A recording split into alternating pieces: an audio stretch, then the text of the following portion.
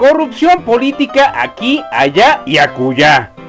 A todo esto, ¿qué tan grandes son las dudas en la honestidad de Alejandra Barrales? ¡Ja!